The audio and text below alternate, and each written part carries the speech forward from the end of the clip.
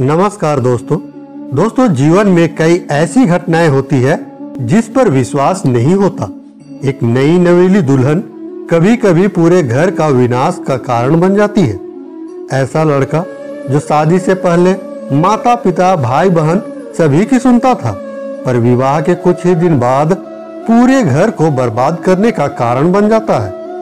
पूरे घर को बर्बाद करने का कारण इसलिए बन जाता है क्योंकि वो इंसान जो विवाह से पहले सभी की सुनता था, फिर विवाह के बाद किसी की भी नहीं सुनता है। सिर्फ़ सुनता है तो बस अपनी ही पत्नी का।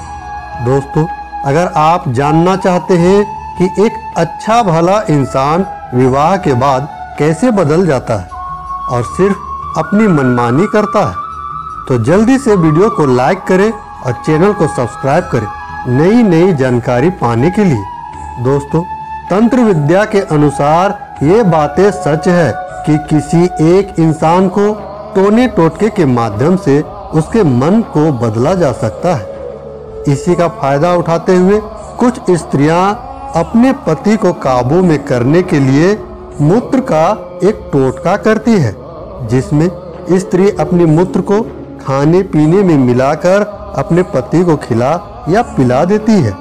ऐसा लगातार पाँच शनिवार करते ही पुरुष का मन बदल जाता है और वह चाह कर भी अपनी पत्नी के खिलाफ कोई भी बात सुनना पसंद नहीं करता है और एक सामान्य जीवन जीते हुए अपनी पत्नी का गुलाम सा हो जाता है। दोस्तों, जिस स्त्री का पति उसकी नहीं सुनता, ऐसे में वो इस टोटके का इस्तेमाल करती है और अपने पति को अपने काबू में कर लेती है। इससे उसका पति उसके सिवा किसी और का बात नहीं सुनता।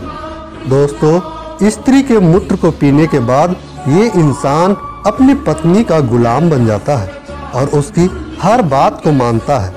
दोस्तों, किसको किसको लगता है कि उसके घर में भी ऐसी घटना हो चुकी है? अगर आपके घर में भी इस तरह की कोई घटना घटी हो तो कमेंट में ज़रूर बताएँ और अपना अनुभव ज़रूर शेयर करें। दोस्तों, आज के लिए बस इतना ही। आशा है आपको ये वीडियो पसंद आई होगी। तो दोस्तों, अब हमें इजाज़त दीजिए। मिलते हैं अगले वीडियो में।